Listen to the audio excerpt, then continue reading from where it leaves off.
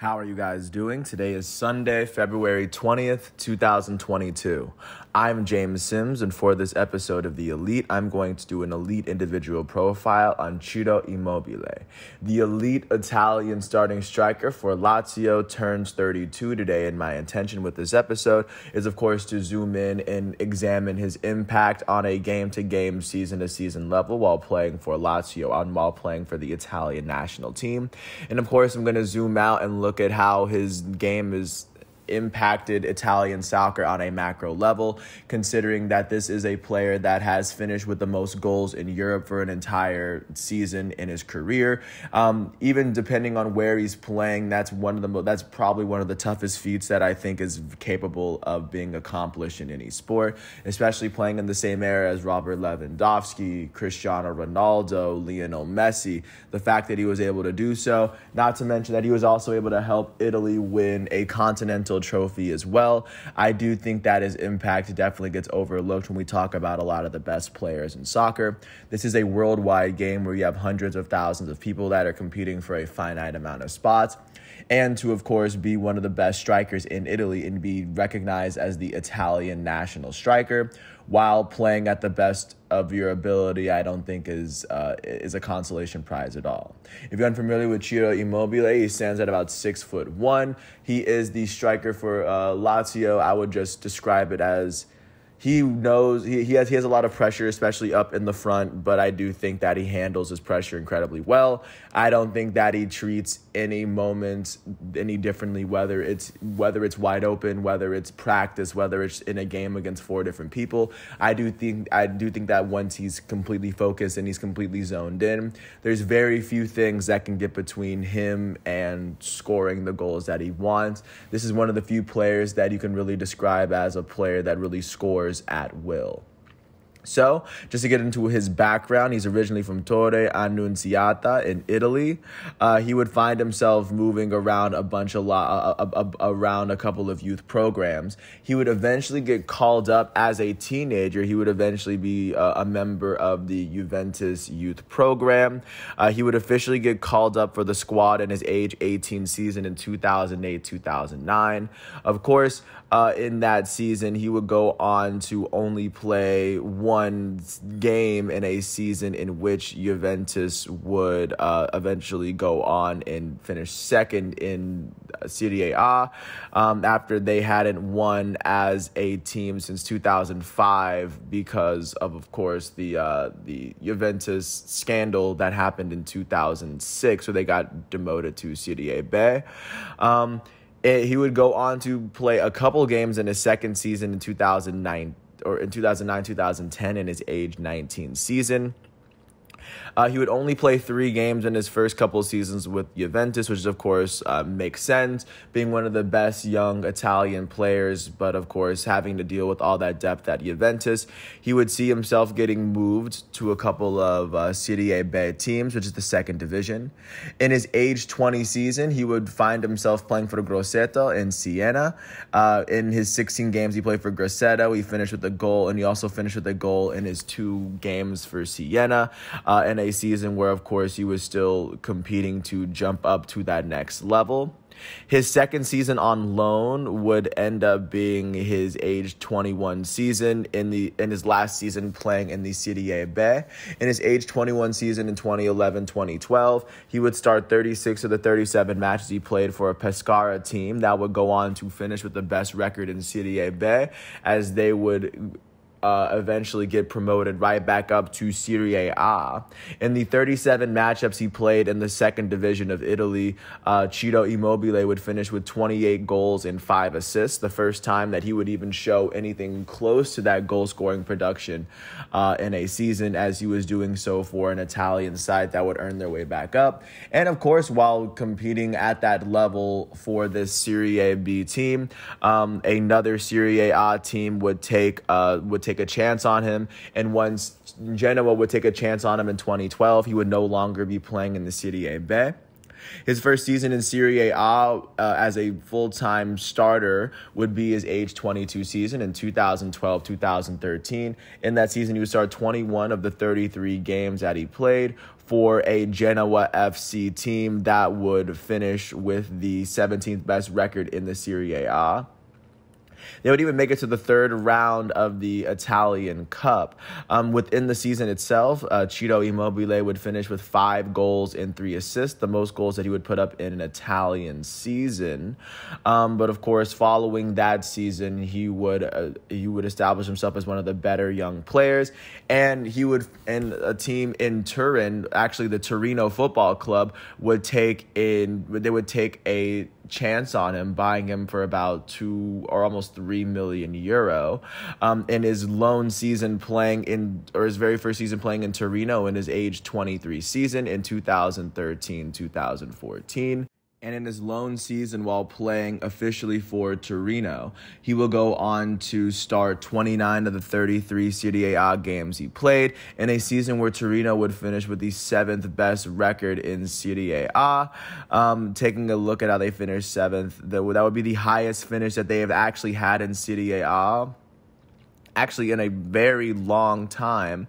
Um, so, and of course, that'll be attributed to Ciro Immobile's lone season there. He would go on to lead the team in scoring as he had 22 goals and three assists. This would be the very first time he scored at least 20 goals in Serie A at the very top level of Italy, doing this all in his age 23 season. Um, and in addition to what he was doing on the field there, he even added a goal in his in their Coppa Italia run. Um, he would establish himself as one of the better young uh, players in Italy. And following that season, despite not playing for a big club, he would go on to make the Italian national team that would compete at the 2014 World Cup, which is the last uh, World Cup that Italy had played in. They wouldn't even make it out of the group stage as they would end up beating England in their matchup, but they would end up losing to Costa Rica and Uruguay in their other group stage matchups. So that would result in Italy's uh, exit in the only World Cup that Ciro Immobile had competed in. After his World Cup stint, Ciro Immobile, of course, would be purchased by Borussia Dortmund, the German side. Um, he would go and be, he would play under Borussia Dortmund for two seasons, the first of which he would actually play for Borussia Dortmund. In his loan season in Germany, in his age 24 season in 2014 2015, he would start nine of the 24 games he played in a season in which Dortmund would go on to finish with the seventh best record in the Bundesliga. That would actually be the lowest finish that Dortmund Had had as a team since 2008. Um, however, they would go on to win the German Super Cup for the year. Uh, this year, they would go on to beat Bayern. This would be the second year in a row in which they had done so. This would be the year in which Aubameyang was their leading scorer, the first year of which. Uh, not to mention that they would go on to be the runners up in the Champions League Pokal. They would end up losing in the final to Wolfsburg as Aubameyang would be the only player to score there. That would be when Kevin De Bruyne was on Wolfsburg. Um, but in Germany, he was able to take a couple of trophies, of course, for himself. The only trophy really of, of note being the Super Cup trophy. Following his loan season in Germany, uh, he would go on to play for Sevilla as he was loaned to Sevilla. Uh, he would go on to play half of his two, age 25 season in 2015 for Torino, the team where he would he had initially won the Serie A Golden Boot, and he would play half of that season in Sevilla. He played 14 games in Torino, and he played eight games in Sevilla, finishing with seven goals total as he will go on to finish his 2015 16 season playing with. Uh, I guess playing with Sevilla uh, as he ended up making his last trip out to Torino to get his last couple of games played. That situation was a little bit sticky, but however, following his age 25 season that year, and following his very first Champions League stint, he will go on to compete with Italy in the 2016 Euros. And once they made the Euros, they would actually make it through the group stage this time, beating Belgium and Sweden, falling sh- falling short to Republic of Ireland. In the round of 16, um, Italy would end up beating Spain two to nothing before they ended up losing to Germany in the quarterfinal round, um, as Portugal ended up winning this 2016 Euro tournament anyway. Following that tournament, uh, Ciro Immobile would find himself as a member of the Lazio Football Club, where he has really been a member uh, and he's been the starting striker really ever since. His very first season with Lazio would be his age 26 season in 2016 2017. In his age 26 season, he would start 35 of the 36 matchups he would play um, for a Lazio team that would end up with the fifth best record in Italy. They would fail to qualify for Champions League. Even though they missed that trophy, they, the closest they would get to a title would be the Coppa Italia. Once they made it all the way to the finals, they would end up losing two to nothing to Juventus as Juventus took home the title this year. However, in 2016 2017, Ciro would come very close to claiming the Golden Boot for himself as his 23 goals were actually more goals than he had scored the first time he had gone on to win the Italian Golden Boot. Um, but following that 2016 17 season, he was regarded as one of the better young scorers in Italy, where he started to jump into that scoring at will uh, level of offensive production. His second season at Lazio would be his age 27 season in 2017 18. In the Serie A, he would start all 33 of the matchups he played in a season where Lazio would finish with the fifth best record in the Serie A yet again. Um, they would finish as semifinalists in the Coppa Italia this year as they ended up losing to Milan.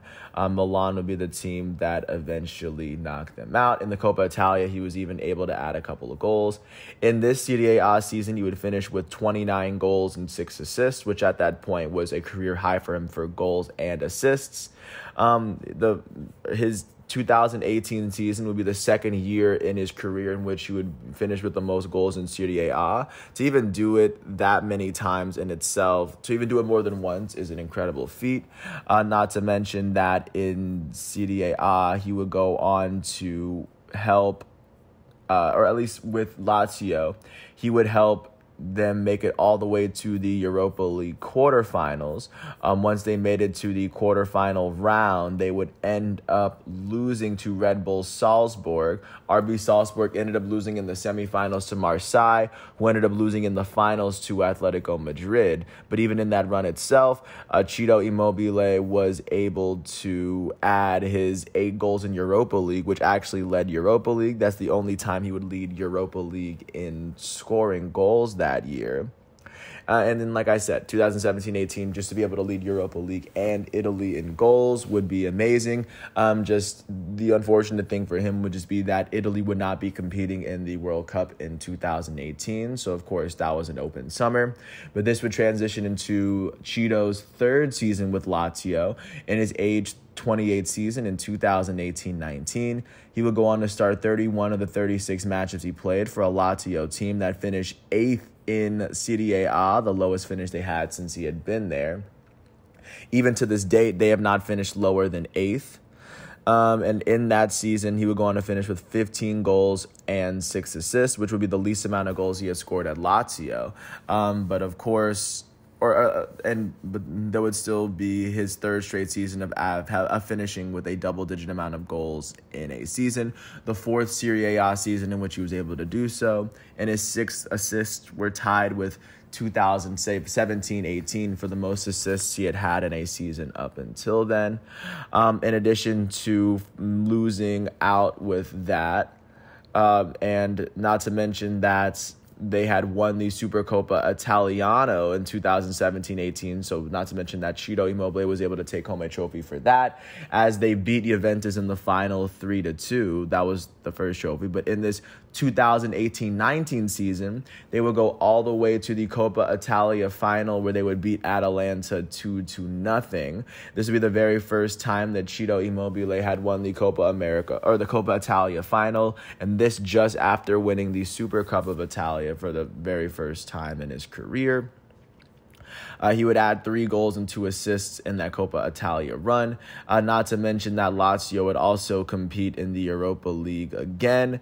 Uh, this year, they would lose in the round of 32 as the team that would eventually knock them out of contention uh, would eventually be Sevilla. Sevilla would lose in the very next round in the round of 16 to Slavia Prague from the Czech Republic.